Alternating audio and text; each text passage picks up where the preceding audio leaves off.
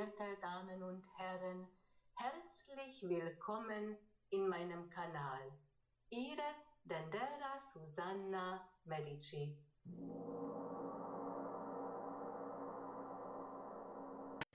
Wie beeinflusst die kosmische Energie unserem heutigen Tag am 24. Mai 2018? Sonne befindet sich in Tierkreiszeichen Zwillingen. Und bei Sonnenaufgang geht die Tierkreiszeichen Zwilling in Osthorizont auf. Das bedeutet für die Zwillingsgeborenen sehen und gesehen werden, bedeutet auch die Wahrheitssuche oder etwas ins Licht zu bringen. Das sind die Bedürfnisse die Zwillingsgeborenen. Aber die Zwillinge zeigen uns etwas, weil die Sonne beleuchtet gerade diese Tierkreiszeichen und vermittelt uns alle etwas. Und dazu ist eine Geschichte. Und diese mythologische, mythologische Geschichten haben symbolische Bedeutung, aber sie beschreiben die Sternenhimmel.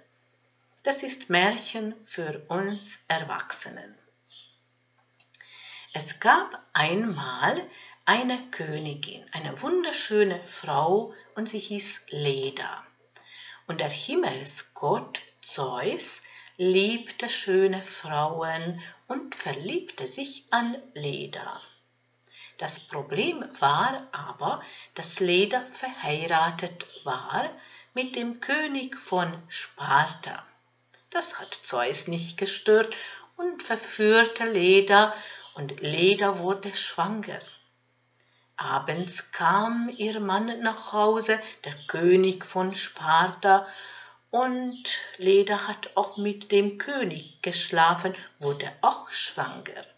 Natürlich, das ist nicht das, was die Sonne uns beleuchtet als Beispiel, aber wir nehmen das mal so in Kenntnis und das hat eine andere Bedeutung. Leda gebar die Zwillinge Castor und Pollux.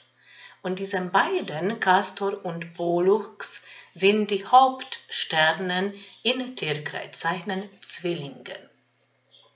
Castor war der Sohn von dem König, also war menschlich und sterblich.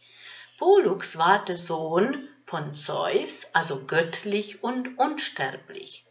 Und dann kam der Tag, wo Castor sterben müsste und Pollux wollte nicht seinen Zwillingsbruder alleine lassen.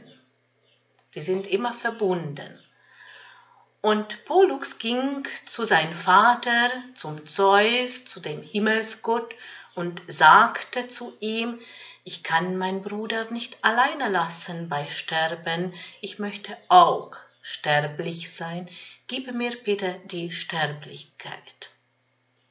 Zeus hat berührt diese Rede und hat zu beiden die Unsterblichkeit geschenkt und Zeus hat die beiden, auch Castor und Pollux, im Himmel gesetzt und die sind die Hauptsternen in Tierkreiszeichen Zwillingen.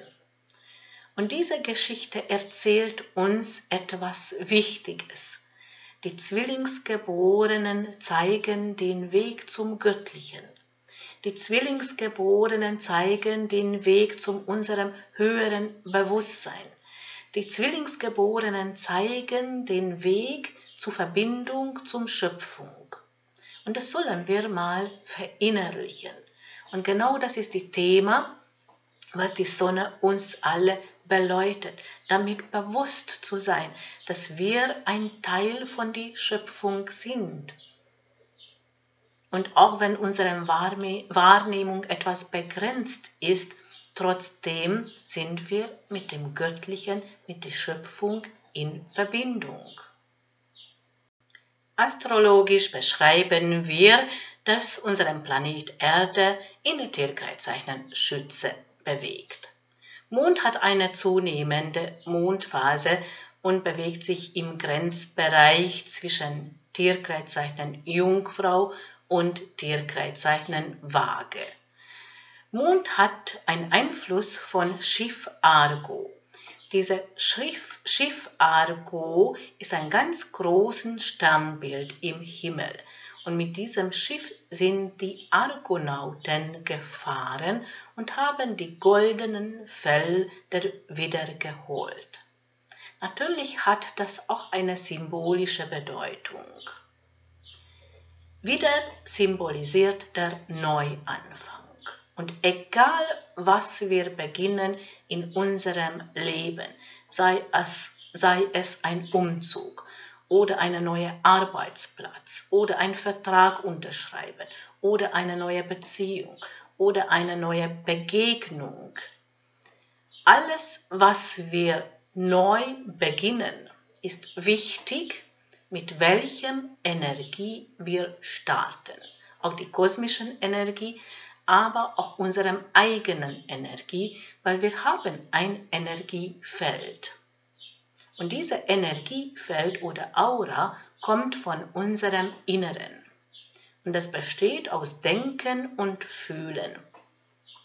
Und natürlich wirkt es. Erstens ist es unsere Ausstrahlung und es gibt ein kosmisches Gesetz, die Anziehungskraft, alles, was wir ausstrahlen, ziehen wir auch an. Aber es ist wichtig auch, mit welchem Gedanken, mit welchem Gefühlen starten wir etwas. Dazu kommt auch natürlich die Zeitqualität, mit welchem kosmischen Einflüsse wir etwas starten. Weil in diesem Neuanfang, in diesem Augenblicke ist gespeicherte Information. Hermann Hesse schrieb, in jedem Neuanfang wohnt ein Zauber inne und das passt auch. Genau so ist es auch. Und damit wir dieses Energiefeld haben bei Neuanfang, was die Tierkreiszeichen wieder symbolisiert, natürlich brauchen wir die goldenen Felder wieder. Das hat auch eine symbolische Bedeutung. Warum gerade Gold? Weil das hat eine Beziehung Bezug, das hat einen Bezug zum Sonne. Und das ist die Ausstrahlung, wie ein Sonnenschein. Und wir brauchen bei Neuanfang, besonderes bei Neuanfang, wir sollten vielleicht immer darauf achten, aber bei besonderes bei Neuanfang wie der Sonnenstrahl mit dieser Fröhlichkeit, mit dieser Begeisterung, mit dieser Herzenswärme und Optimismus und Klarheit mit diesem schöpferischen Kraft etwas zum Starten. Und auch das Gefühl dazu. Die Kraft ist die Sonne, das Gefühl ist die Mond. Das ist mal ein guter Anfang. Und das symbolisiert dieses Schiff Argo. Das wird diesem Ausstrahlung, diese Farbe Gold holen sollen von wieder. Warum gerade von wieder? weil das symbolisiert den Neuanfang. Und das ist wichtig.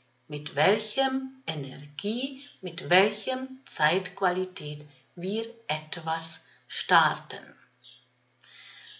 Und das zeigt dieses Sternbild Schiff Argo, dass wir in diese Richtung bewegen sollen. Weil es wird eine Bewegung kommen.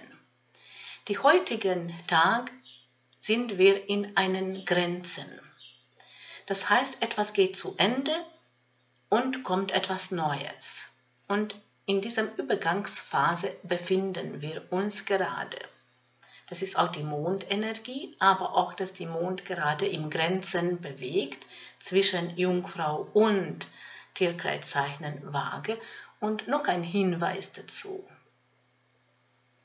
Pluto und Lilith steht in Verbindung in Tierkreiszeichen Steinbock. Lilith ist zwar kein Himmelskörper, hat trotzdem einen großen Einfluss auf unserem Leben. Es ist ein Schnittpunkt im Mondumlaufbahn, ein Energiefeld.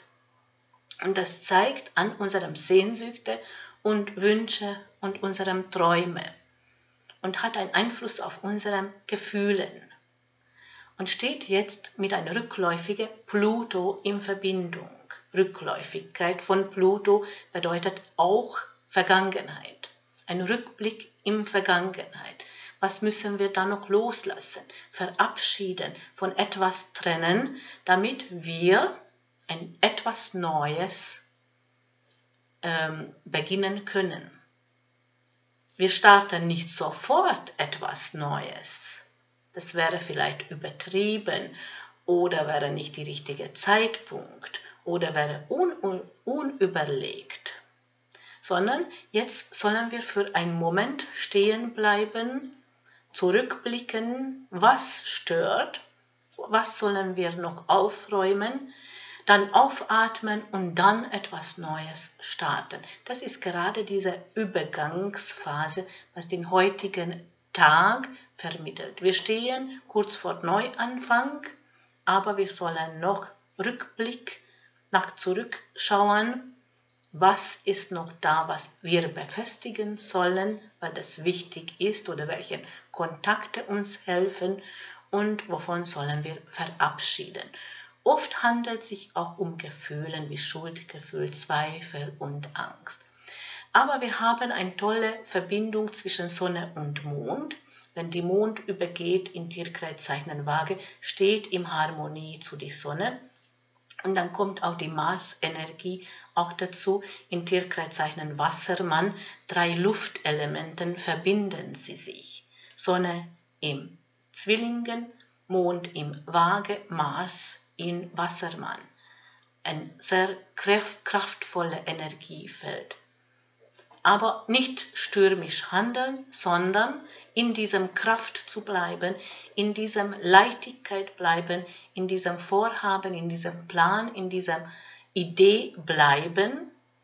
Und Pluto und äh, Lilith vermittelt, noch zurückblicken, etwas noch überprüfen und dann erst aktiv zu sein. Das ist die Energie des Tages. Und wie wirkt es in einzelnen Tierkreiszeichen?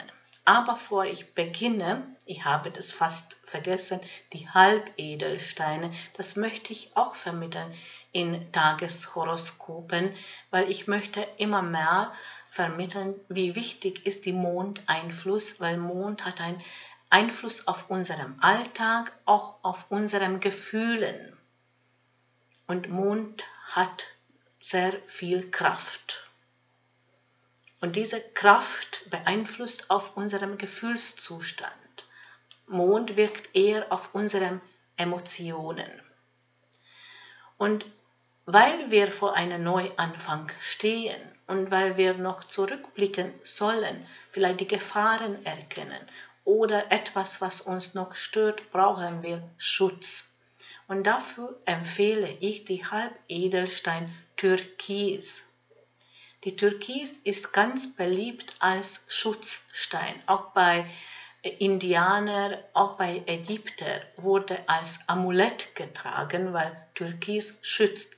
Und Türkis ähm, beeinflusst auch unsere Wahrnehmung, dass wir die Gefahren erkennen. Gefahren, was noch kommen. Nicht nur das, sondern Türkis lässt auch erkennen die Ursache an etwas. Das wird auf die Quelle erkennen, woher kommt das alles oder Ursache an äh, Erkrankungen. Warum ist es so? Und dass diese Wahrnehmung stärkt die Halbedelstein Türkis und das ist ein ganz berühmter Schutzstein und schützt uns von Gefahren, haben wir eine andere Wahrnehmung, Wahrnehmung, wir spüren das auch und gibt uns Kraft, auch Lebenskraft. Wir sollen Türkis einmal im Monat entladen mit Hämatit, das heißt Türkis und Hämatit in eine Schüssel legen, ganze Nacht so stehen lassen, dann ist Türkis entladen. Wir können noch zusätzlich mit fließendem Wasser abspülen und mit Mondenergie aufladen. Nicht mit Sonnenkraft, sonst verliert die Farbe sondern mit Mondenergie. Und immer darauf achten, wo bewegt sich die Mond, welchen Themen ähm, können wir nützen.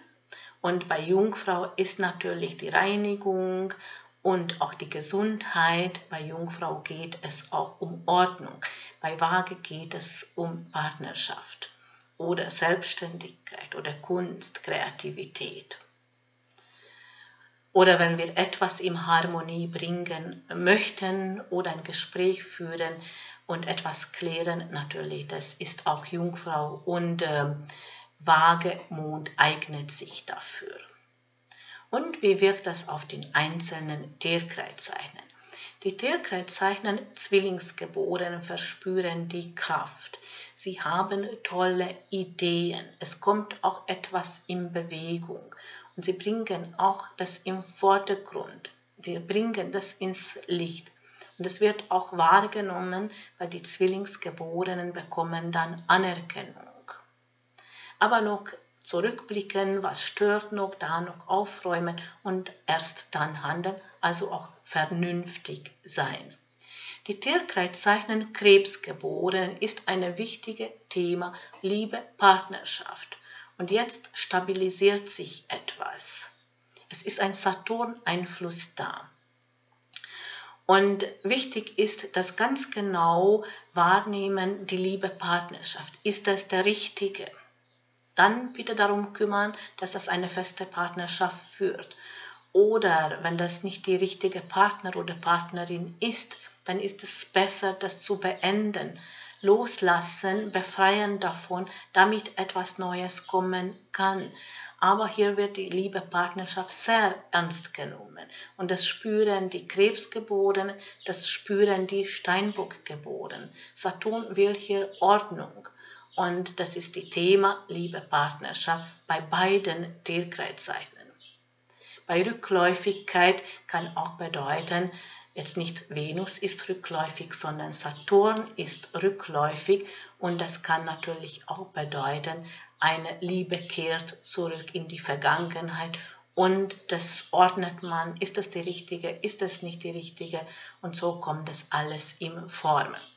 Die Tierkreiszeichner Löwen geboren haben sehr viel Aufgabe oder haben das äh, Gefühl, es kommt eine neue Aufgabe und sie bestimmen gerade die Richtung.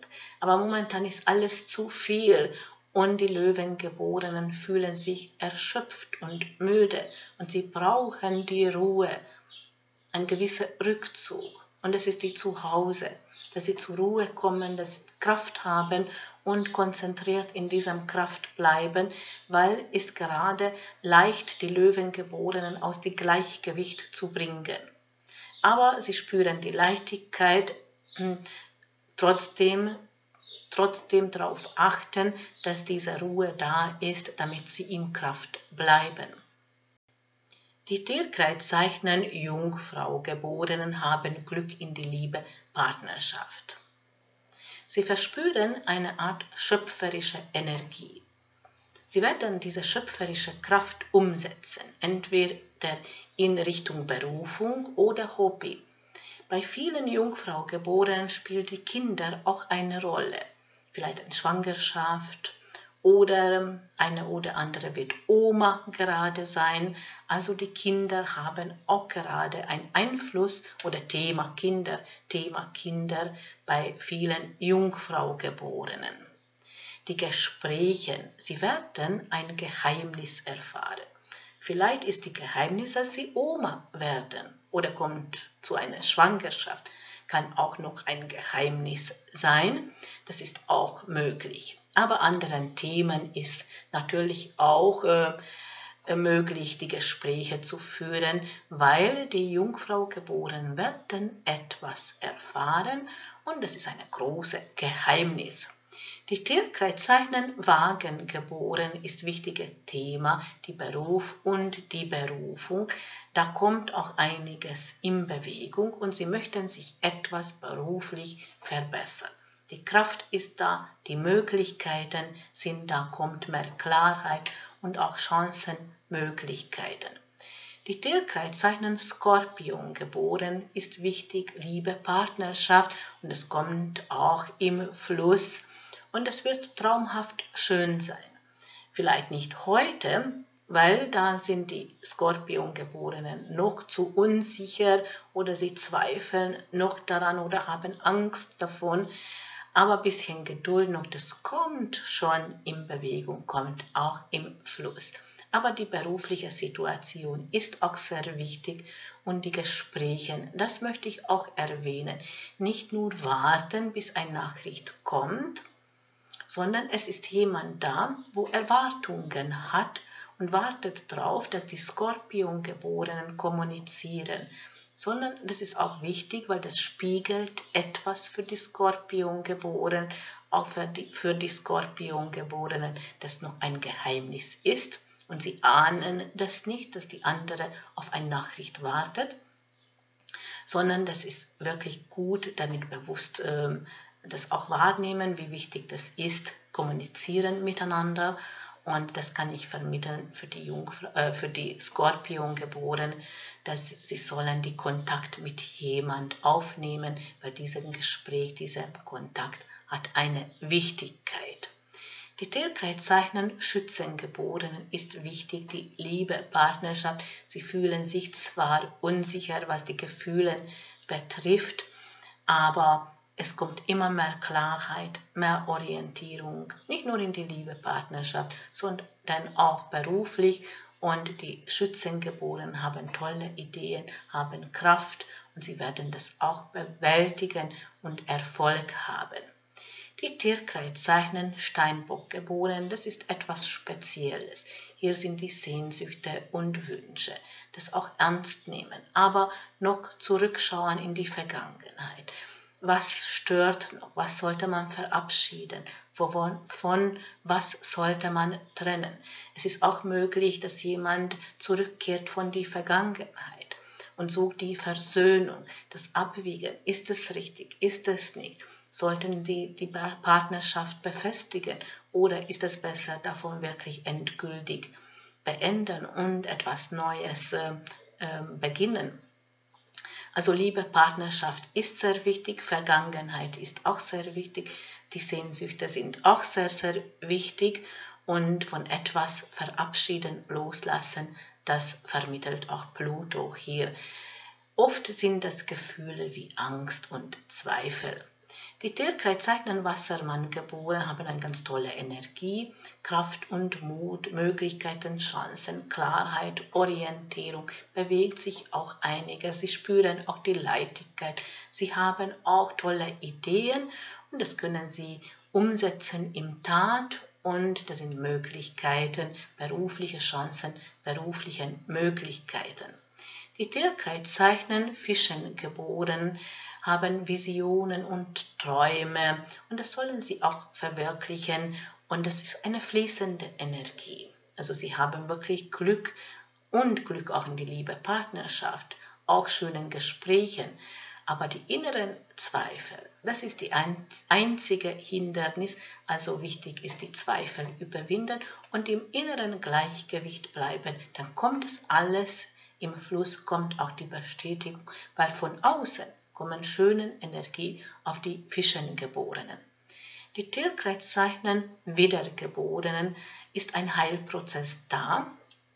Es wird genau gespürt, wo noch weh tut, aber kommt auch eine Heilung. Die Kraft ist da, die Mut ist da, ist auch eine berufliche Aufstieg und auch Anerkennung also jetzt geht alles voran und bewegt sich einiges bei den Wiedergeborenen.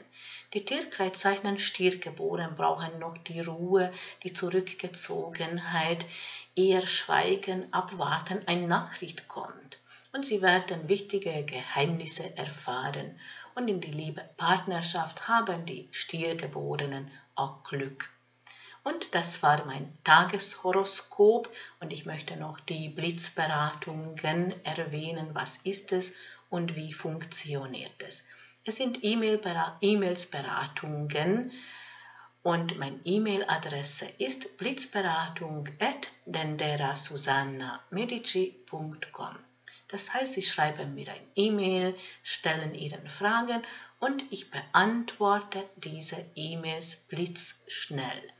Mein Honorar beträgt pro Frage 10 Euro.